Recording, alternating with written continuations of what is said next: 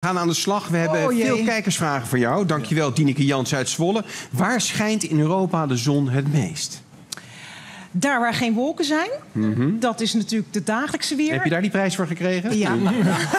Ze verstaan geen Nederlands. Dat. Nee, maar in, in principe hoe droger het land is, hoe meer zon je hebt. Dus binnen Europa, hoe verder naar het zuiden toe, dichter bij de Evenaar, met name in Italië, eh, Frankrijk, Portugal.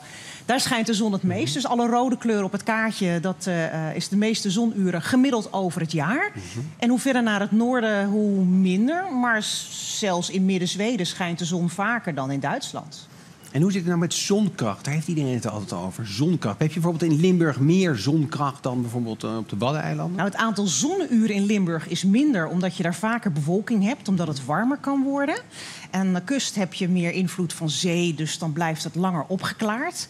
De zonkracht is wat anders, want dat zegt wat over de sterkte van de hoeveelheid zon. En als je dan in Europa gaat kijken, zie je natuurlijk nog steeds dichter bij de Evenaar, dus in Spanje, in Portugal, daar de sterkste zonkracht. Dit is een voor aanstaande zaterdag. Daar houden ze rekening met waar zitten de grote weersystemen, want dan zie je geen rode kleuren. Nou, logischer, hoe sterker de zon op je hoofd schijnt, hoe rechter die boven je hoofd staat, hoe sterker de zonkracht. Maar dat betekent bijvoorbeeld ook als je de bergen ingaat, hoe hoog je komt, hoe minder lucht er boven je zit. Dus ook hoe sterker de zon is. Het is niet dat je dan dichter bij de zon staat hoor, want die drie kilometer ten opzichte van die 149 miljoen, dat maakt niet zo heel veel uit. Maar eh, daar bepaalt natuurlijk ook hoe schoon de lucht is, is van belang. Maar wel toch waar dat gat van de ozonlaag zit. Want in Zuid-Afrika heb je altijd meer last van, van verbranding. Ja, mits de zon dan op het zuidelijk halfrond Ja. staat. Want als je wereldwijd gaat kijken, dan zie je inderdaad de sterkste zonkracht in een strook daar waar de zon nu zit. de Evenaar. Dus als je een, de Evenaar die, die zit hier, ik heb een, Mhm. eh, een kaartje, daar zit de Evenaar. Waar? Wacht even, ik zie je Bij die blauwe streep, nou ja, als het goed is gaat de regie hem dadelijk schakelen.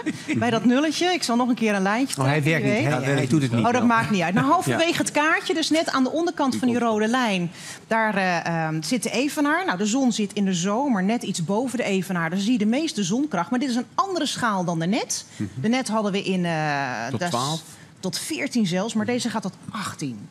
Want ik zie daar in het midden, daar een beetje in Azië, daar zie ik eh, zelfs wit. Zelfs wit. En daar ligt het Himalaya-gebergte. Oh, Dus daar ben je Dus echt... hoe eh, hoger je komt, ja, daar verbrand je natuurlijk levend. Maar als je dit in een zomersituatie voor Australië of Zuid-Afrika zou hebben... Ja, ja, ja. dan krijg je daar ook die felle witte plekken. Dus daar is de lucht een stuk dunner en schoner. En dan Vraag verbrand je- 2.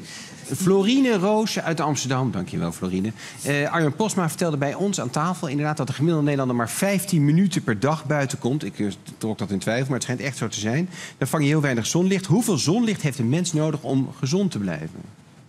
Poeh, weet jij dat, Goer? Nou, weinig, volgens mij.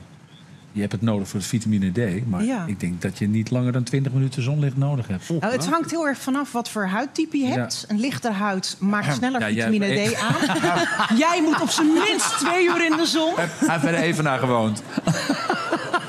Je weet het, jongen.